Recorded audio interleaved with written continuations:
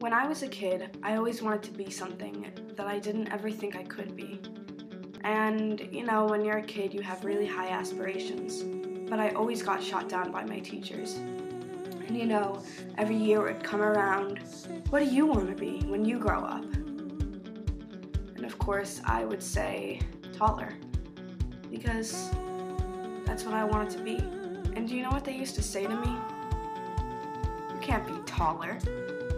You're short and you're gross and no one likes you. So I'm making it my mission to be taller, to prove everybody wrong, and to show this world that I can do something. So starting today, I'm taking it upon myself to be taller.